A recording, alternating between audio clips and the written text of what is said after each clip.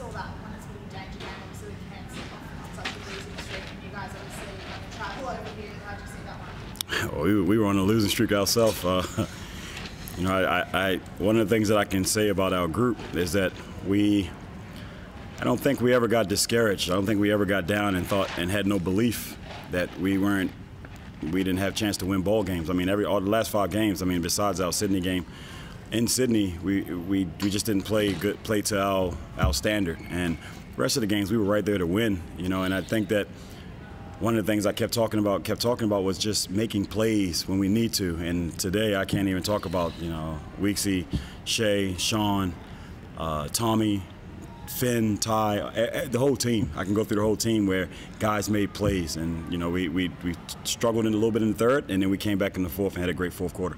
And you're coming in that third quarter, and you just kept persevering in the next minute. The crowd's with them, the Yep. momentum's going into that third quarter break.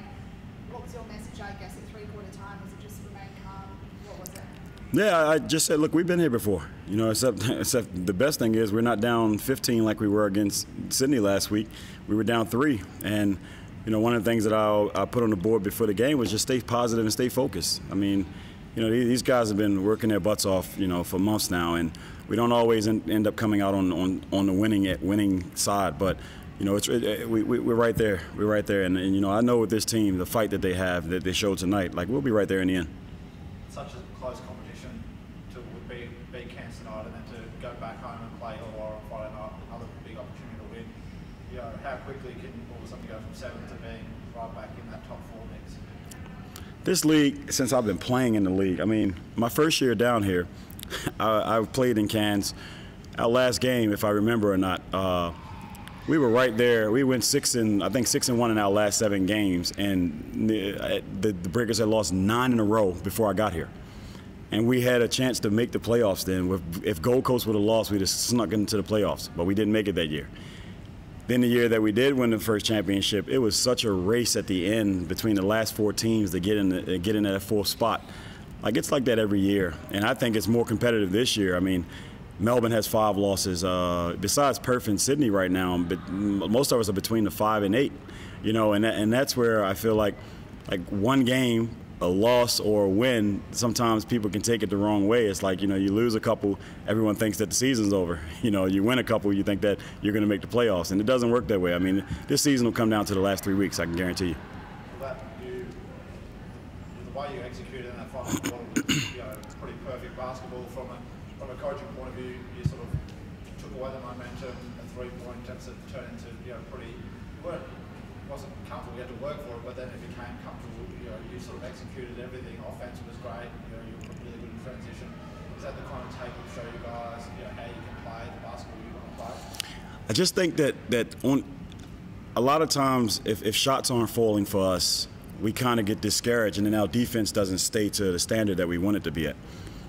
Today, when the shots weren't falling in the third quarter, it, it never looked like we were breaking down too much defensively. Uh, we gave up a couple offensive boards. We put them on the free throw line a little bit too much in the last two, three minutes of the third quarter. If we didn't do that, I mean, we probably would have had the lead in the end of the third quarter. But the fourth quarter, all of that stuff stopped you know, and we didn't put them on the line as much, and we didn't give them too many second chance opportunities. Like we started to turn that from our defensive momentum now until our, our offense started to start start to click, you know, and that's all it was.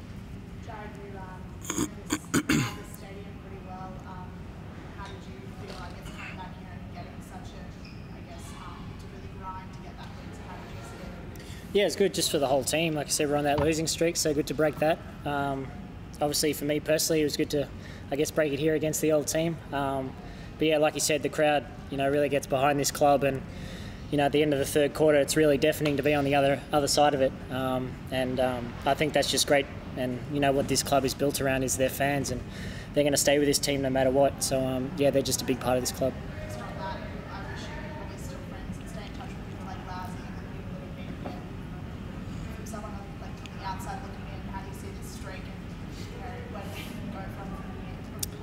Well, like KB said, um, it's such a tight league that you know they're, they're not getting blown out by 50 every week. You know they're in pretty much most of their games they've been in um, with the top teams, including Perth and Melbourne and Sydney. So, like KB, it's just one of those leagues, and you know if, if they get up to that last stretch and they can just break wins, it's it's going to fall for them. So they're a talented squad, and if they can get things going together, I think they they can really end this season well.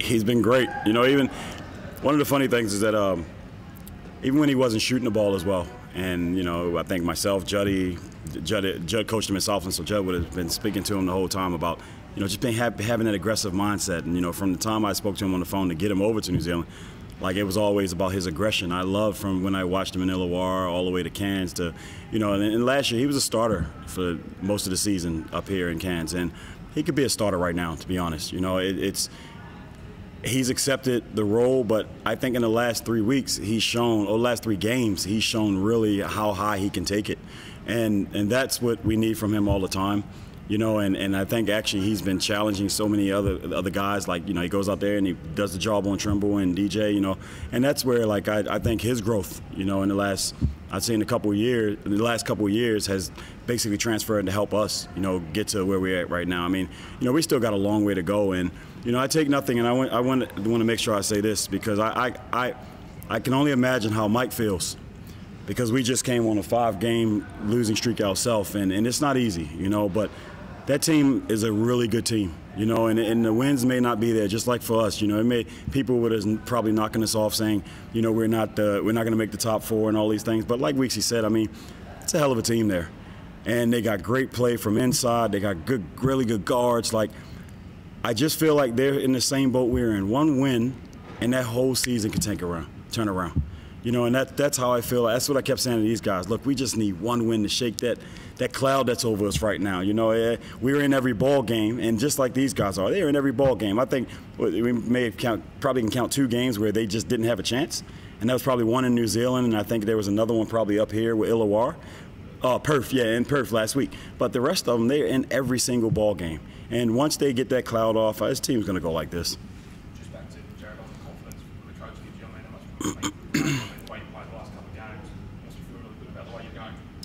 Yeah, definitely. Like KB said, um, that's what he outlined to me when, when I first went to New Zealand. And um, talking with Juddy, with the relationship we developed down in Southland, um, just every week they just kept keep being aggressive, keep being aggressive. Things will change, and you know, like the hard work at all the practices, the shots, and all that it all comes together at some point. It might not be that week, might be the week after, might be the week after that. So, yeah, just going to continue to, you know, keep being aggressive and hopefully the shots keep falling.